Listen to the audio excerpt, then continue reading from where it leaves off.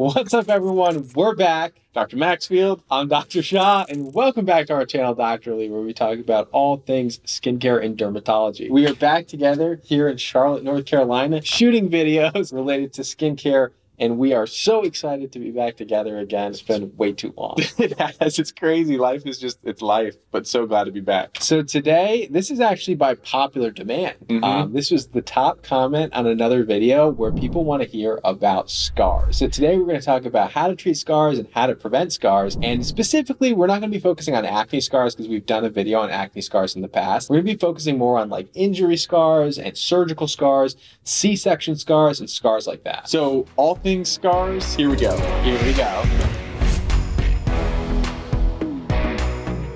So scars are particularly important to us, not only because as dermatologists we try to help people with their scars, but because as Mohs surgeons we actually try to minimize scars after removing some pretty aggressive extensive skin cancer. So this is like this is a big part of our battle in real life is minimizing scars. Right. So we not only do we treat scars, but we also prevent scars that we create.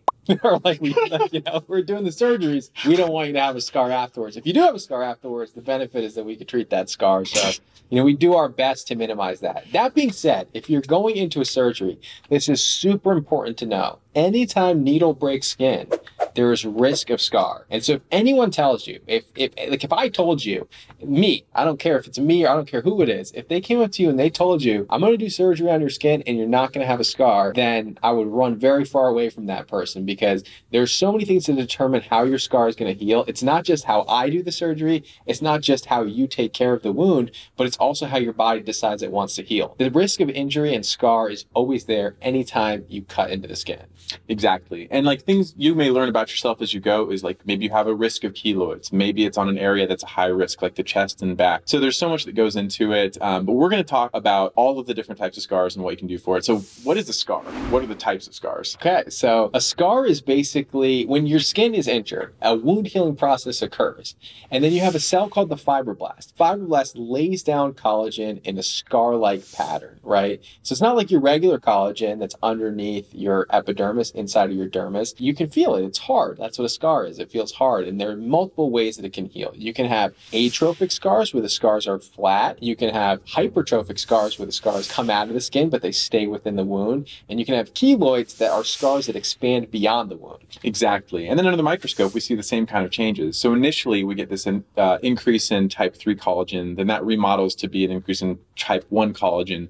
And with each types of these scars, whether it's a normal scar, hypertrophic or keloidal scar, you can just see the difference here in the collagen. It's just a tremendous difference in how the collagen lays down, organized, disorganized, thick bubblegum collagen, depending on how it heals. There's a normal progression for wound healing as well, where it starts with the inflammatory phase, then it goes to the proliferative phase, and then it goes into the remodeling phase. During all of this time, you're going to be trying to help treat it. It's also important to know that you don't know what the final way that your scar is going to look until about a year. A year is when a scar reaches maturity and at that year point, you never have normal skin in that area. It's only about 80% as strong as it used to be. And so it, about a year is when you need to really decide like, how does my scar look? Because at that point, you may want a revision. All right. So first up, how do you prevent the scar after your skin has been injured in some capacity? Yes. So the old adage, and I still hear this from time to time, is that you should just let this thing air out. Like if it's wet, let it dry. And I can say unequivocally that that is not the way to do it. it invariably now at this point, I can can tell when a person has let their wound dry out. When I see them at the follow-up visit, it's night and day. So the more moist you keep this area, the more occlusive you put your dressing and ointment on, the better it's going to heal. This is 100% true after looking thousands of surgical scars and follow-up. And we, we give very specific instruction on how to take care of the wound afterwards. And I can tell you when people are not following the wound care instructions because the way it heals, even within two weeks, is substantially different depending on how you take care of that scar. So 100% keep the wound moist, common misconception. Okay, so you want to keep the wound moist, mo- uh, yeah, you want to keep the wound moist. We can agree on that. What are you doing to keep the wound moist? Okay, so there's a lot of things that people will tell you to do. They'll tell you to wash uh, the skin with hydrogen peroxide, wash it with alcohol. You don't want to do any of those things, actually. All of those delay wound healing. What you want to do is just wash with soap and water. That's the only thing you want to do is washing your wounds. Next, what do you put on it? So there's neosporin, there's bacitracin at the stores. You don't want to use any of that stuff either. Not only are they super high risk for contact allergy, but they're not really going to benefit the wound healing process in any capacity, right? So no neosporin, no bacitracin, no triple antibiotic ointments. All you simply need to do for most wounds is put something like Vaseline on it. And let me take a moment just to dunk on vitamin E again. So Dr. Shah put out another video within the last few months about vitamin E because it went viral. And this this is what we talked about before. Like vitamin E is not helpful for wound healing, especially in its pure concentrated form. If you're gonna use a skin oil, which I actually don't think you should, I think you should just use Vaseline, like Dr. Shah said. If you're gonna use a skin oil, you'd want one with high in linoleic acid, like sunflower oil, safflower oil, even jojoba, argan, coconut. Those all might help. But again, I think they're inferior to just Vaseline.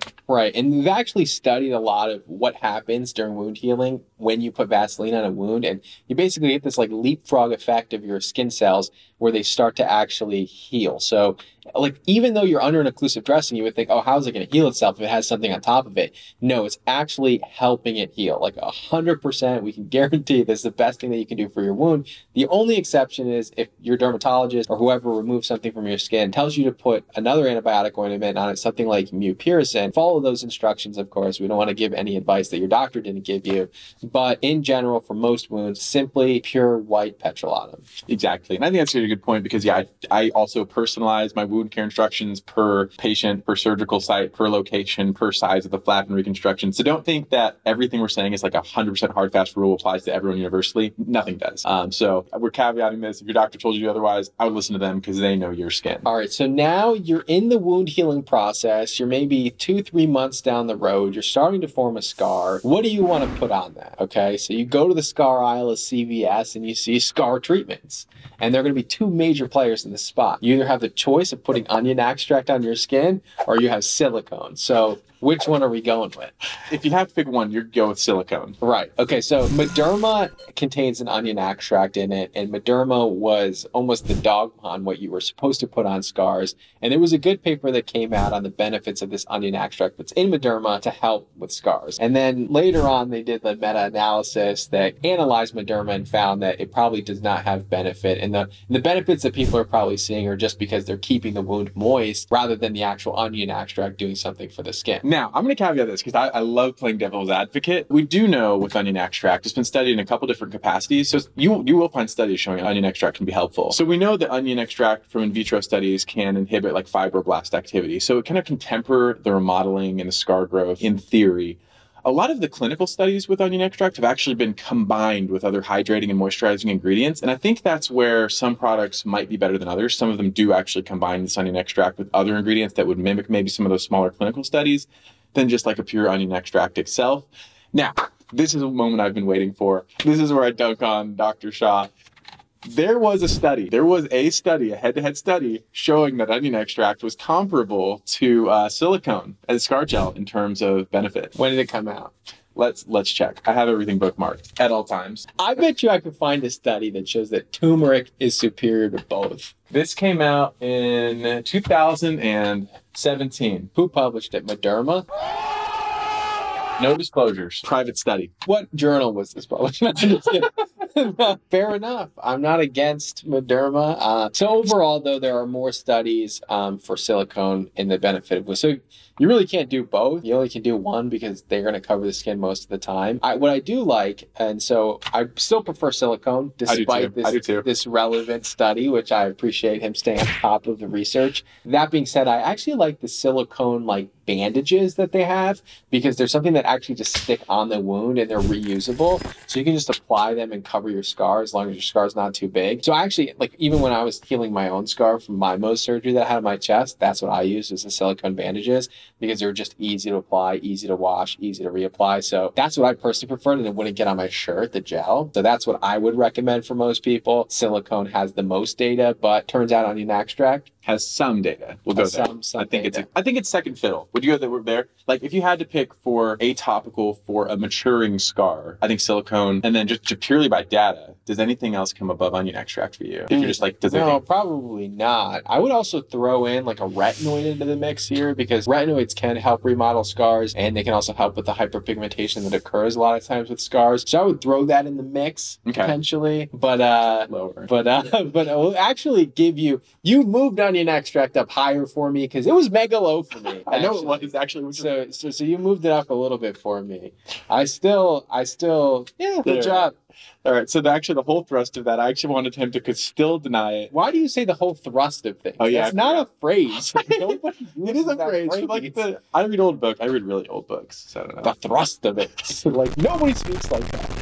No, no, I'm always willing to concede as more information comes out. I said in the very beginning of the channel, we want to be challenged Yeah, we want to be debunked. Mhm. So please debunk us because we're always open to more information. Definitely. So definitely thank you for bringing in new information.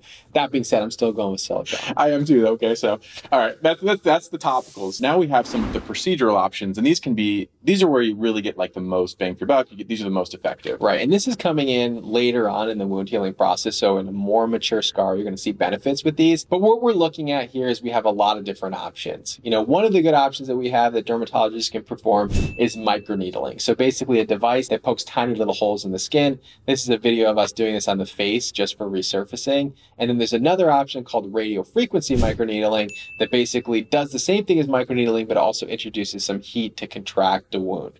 So you have radio frequency microneedling, you have regular microneedling, you can do chemical peels on scars, and then you can even do laser resurfacing on scars. Exactly. And so with the lasers, there are so many different types of lasers. We can target different components of a scar. You'll see studies of vascular lasers for early stretch marks that really just gets rid of that reddish hue to it. And then you'll see things like fractionated CO2 laser where you're poking multiple, multiple, multiple holes, similar to microneedling, just a bit more aggressive to kind of um, try to remodel that scar uh, with the laser. Trying to figure out how you should treat this scar, you should really try to go to somebody that has a lot of options. And the reason why is because he said, say that you have some a little bit of redness to the scar, but the scar is also pretty thick. You may want to treat it with something that treats the redness, the vascular lasers, and then follow that with a treatment that actually treats the collagen, like something like a CO2 laser. So it's oftentimes combining therapies that you're going to get the best results. But if you go to a place that only has microneedling, they're only going to offer you microneedling. So go somewhere that has more modalities to treat these more advanced scars. I think there's actually value of seeing a dermatologist who like understands the over the counter space too, is because I think it's important to have an encompassing understanding of everything out there. Even if you don't do it, it's important to know what else is available for the patient and offer it up. One of the advantages of how we train and why our training is so long is that we learn about what other people do and what other people can offer. So like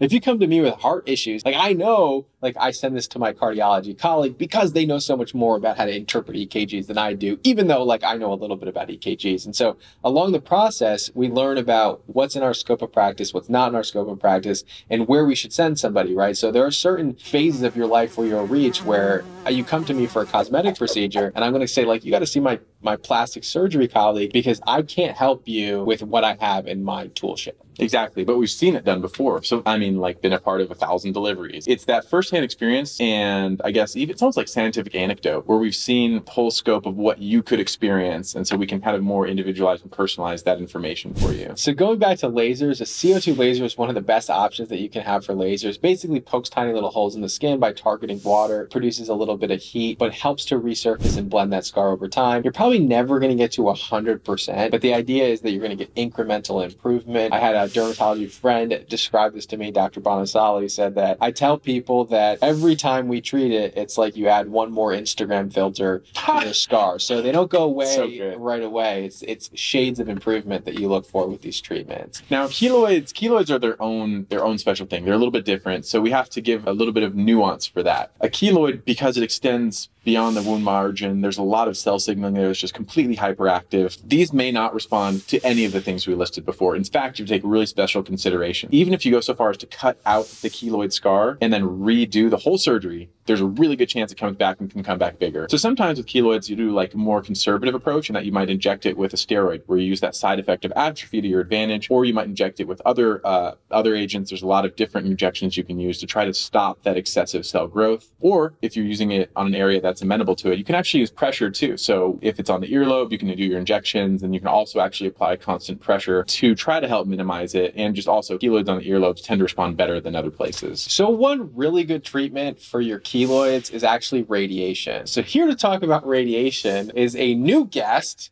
Dr. Aldaba. Us. Right, right. He decided to somehow match us today Yes, inadvertently. So Dr. Aldaba is a board certified Mohs surgeon. He's also my business partner at our practice. And the reason I'm bringing him on right now is because he is a good friend of mine, but also because he is an expert at treating keloids with radiation. So when we first got our radiation machine,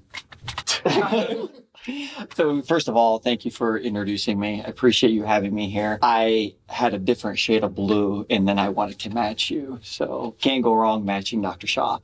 So here, so I got the radiation machine to treat skin cancer, non-melanoma skin cancer, squamous cell carcinoma, basal cell carcinoma. But an additional benefit to radiation treatment is that after you remove the keloid, you can radiate three times three days in a row to inhibit the fibroblasts. Those are the scar producing cells. You don't actually directly inhibit the fibroblasts, you inhibit the mast cells from releasing mediators that actually then stimulate the fibroblasts to cause your keloid scar. So, Dr. Shah, here's a quick quiz. Oh. If, if I remove a keloid Sure, and I don't do anything, sure. what is the chance that that keloid is going to recur? Like 50 50. 71%. Okay. I told you all statistics are made up. They're all made up. 71%. I'll find a study that says 50 50. But if I if I remove it and I and I do three doses of radiation, this is superficial radiation, so it's not affecting any other site. Three doses, three days in a row. What do you think the recurrence rate will be? 20%. Three percent,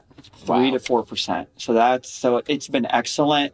I've done it on uh, a lot of patients, and so far, knock on wood, no recurrences. radiation a great treatment option. I've actually seen good results with it at our office. So you know we radiate the people afterwards. They come in three times. They do great. That process you have to come in more often um, but it's a good way to not have to worry about it coming back which it's mega high risk. Exactly, and the radiation machine we use is is the Sensus SRT 100. right. So it's superficial. So when people hear radiation they think i don't want to be radiated. But the way that these Sensus machines are are designed is so that it really only affects the top layer of the skin where you're trying to treat those keloids If It's just a lick of radiation. That's how I explain it, just a little bit. thank you You're welcome. Thank you for having me, guys. And then tying this all together, so there's kind of a time frame you can follow. Within the first two weeks after an injury or operation, you're really looking to keep it moist. So using that Vaseline to lock in all those growth factors, the hydration, and the moisture, that's extremely important until let's say the sutures come out. Then uh, when the scar is kind of entering that remodeling phase, but is still early and maturing, that's really when you want to use probably that silicone scar gel plus or minus onion extract, right? That's when that's happening. Um, but after that scar is matured, settled in, and robust, if it's still there and it's just not where you want it, that's when all of those other treatment modalities come in. up to two weeks Vaseline, two weeks to let's say six months, you're doing your silicone.